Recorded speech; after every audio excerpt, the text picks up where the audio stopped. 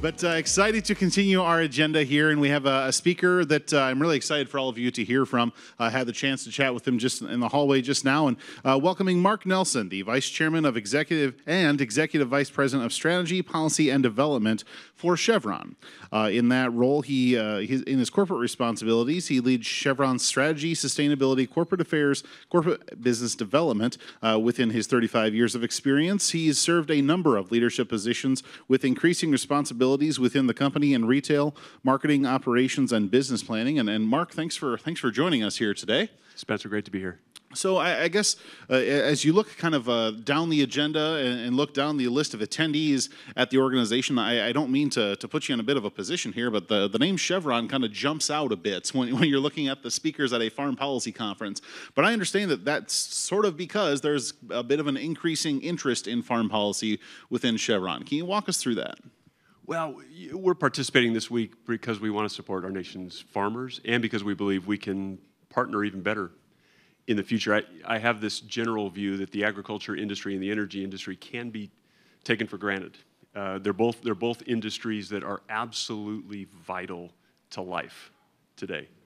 Not just today, but in the future. In fact, I, I believe that both industries play a significant role in a lower carbon future as well. And, and Chevron's been partnering with farmers for decades. Um, you may not be aware, but we have produced lubricants for years and years and years that we sell for, for as tractor fluids and for large trucks called uh, Delo heavy duty engine oil. So we've been providing that to farmers for years. We're actually uh, capturing fugitive methane from dairy farms and turning into what some call negative carbon renewable natural gas. And as you may all know, we have acquired Renewable Energy Group, and we're the second largest biodiesel, bio-based diesel producer in the United States and one of the biggest in the world. And now we're partnering on cover crops with some of the leaders in the industry. So we see a partnership here that's important to today and important to the future. Well, you mentioned the REG acquisition, and I wanted to kind of circle back uh, to that and just kind of get a status report of sorts, uh, if we could, from you. How has that tra uh, transaction gone, and and you know how, how is the the merging of the two companies been going uh, in uh, in that transaction? Oh, it's it's fantastic. If you if you step back to think about why we acquired Renewable Energy Group, it was really to accelerate our production and supply of bio-based diesels today, Be because it can be used in everything that everybody has today. So oftentimes when people talk about lowering their carbon intensity, it talks about getting a new set of things. The concept of renewable fuels is that it can be a drop-in fuel, it can be used in everything that everybody already has. And so this acquisition allowed us to accelerate our plans in that regard. And although we got biodiesel plants and we have a very large facility that's being expanded in Geismar, Louisiana to produce even more um, bio-based diesel, the, the, most impressive part is the people. I mean, th these are people who have been working with farmers, have been working with seeds, have been working with other types of waste fuels to turn it into something over time. And when you combine that talent with the scientists we have at Chevron, it's just been it's just been amazing. And the ability to get increased yields, so more out of what we're using, um, and, and a, at a lower cost to the to the consumer. It, it's just exciting to me. We've barely scratched the surface, but so far um, it's delivered everything that we hoped for and more. Yeah, that, that transaction, that new relationship, really not all that old in the grand scheme of, uh, of Chevron's business. But you said it was something that was done to kind of accelerate your, your production timeline. I mean, can you walk us through what are, what are the possibilities now as as you get to know REG's, you know, you know I guess former assets now, mm-hmm. uh, as you get to know those, what do you think are, are the production capabilities of a company like Chevron in this space? Well, so our, our philosophy was today we have, like many energy companies, we have uh, refineries today. And if you drive by a refinery today, they have long tubes that stand up in the air. Each one of those tubes can produce a, generally produce a certain type of product. As demand shifts over time at our company, we have the ability to transform at relatively low capital those individual tubes to be able to produce things like renewable diesel or sustainable aviation fuel. At the same time, we have these facilities that we've acquired from um, Renewable Energy Group that are, are built just to produce um, at very efficient, uh, in very efficient fashion, renewable diesel, and in some cases, sustainable aviation fuel. So we have uh, targeted capacity of 100,000 barrels a day uh, in the next seven or so years. And today we have demand. We, we are struggling to keep up with demand. That's how excited customers are to use this. And it does two things for them. As I mentioned earlier, they can use the equipment that they have today, right? And they can, uh, they can essentially do it at a price that's equal to the same type of products they're buying today. They're a little bit higher carbon.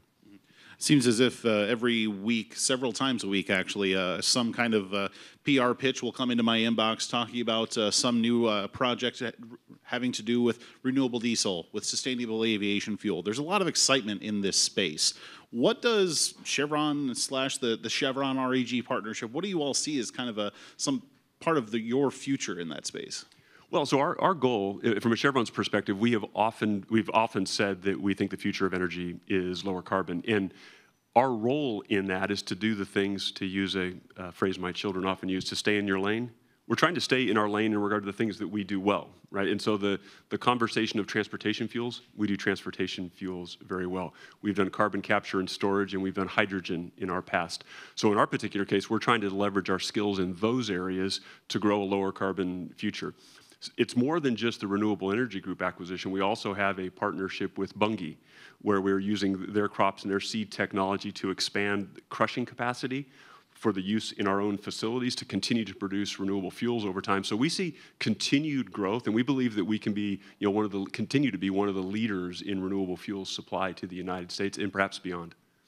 One of the things that we're talking about kind of across our panels here today is uh, interest in the Farm Bill and, and, legislation more broadly. So when you think about Chevron's renewable energy portfolio and you think about things that Capitol Hill can or, or should maybe do for you, what comes to mind? Well, there's parts of the Farm Bill that I'm sure I'm not qualified to speak on, but there are uh, three things come to mind for me, and it's true for, first one's true for all business, and that's certainty every business performs better when they have a, a degree of certainty. So making sure that uh, the farmers of America have a have enough of that certainty to be able to be their very best. That would be number one. The second one is allowing everything to compete. We have a tendency today um, in, in governments to pick the answer versus letting the United States do what it's done very well, which is apply its ingenuity. So, our belief is that all crops should participate to be feedstocks all energy sources should compete for the lower carbon uh, space in, in, the future. And then the final one is maybe the connection of regulation to legislation. So if you can't get the permits or the pathways, all the other stuff doesn't matter. You know, so the ability to get permits, the ability to get pathways approved, and it should be all of them. The concept that from a government perspective, people want to sit back and decide that, well, that we like that pathway better than this pathway. That's not how you stimulate ingenuity. And my general view, if I look back over time, and I'm, I'm learning about your industry, but I think about yields in soybean and corn, you know, going up, what, 40 and 50% over the last 20 years. If I could do that at a refinery today, I'd be very, very happy. But there's, a, there's an ingenuity there that I think we can unlock that uh, we haven't yet seen. You know, we, we have seen investments from, you know, oil and traditional uh, petroleum companies in the renewable space before. You, you, just mentioned there that you're still learning a little bit about, uh, about production agriculture and some of the things that are there. In, in your conversations with, you know, some of your uh, oil industry colleagues, what do you think there is for that industry to learn about the renewable space and in turn production agriculture? Where are the knowledge gaps that you think uh, perhaps energy and agriculture could work together to close? Well, as I mentioned earlier, there, there are some areas of similarity, meaning we both industries can be taken, taken for granted. Uh, both industries deal with commodity cycles and have things that impact their margins that are outside of their control.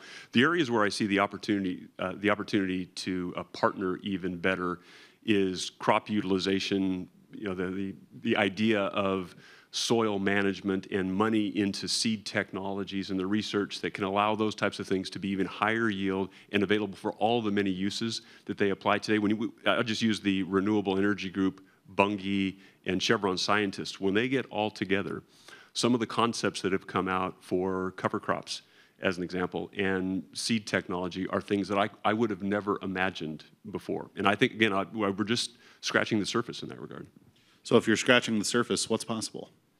Well, so think, think about the ability to um, essentially add a crop without having to change planting patterns and cover your sustainable aviation fuel for the next decade. That would, that would be good for the agriculture industry, that would be good for the United States, and I believe that type of potential is out there.